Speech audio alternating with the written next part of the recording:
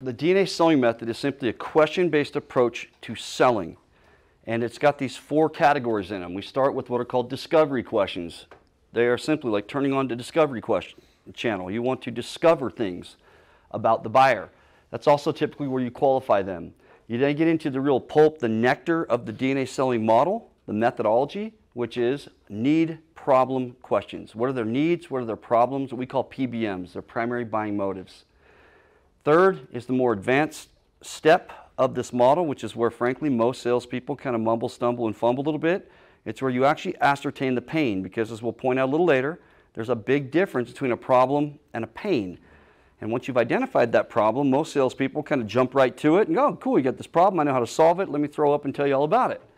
But the more Spartan or cerebral seller is going to take a moment and try to ascertain the pain linked with an unfulfilled need or an unresolved problem. And lastly, they're called solution benefit questions. These is when this is a, uh, these are a series of questions you would, hey, based on this conversation, you know, what benefits, if any, frankly, would you see by partnering with us or with utilizing us or with moving forward with us? And you get the buyer to sell themselves.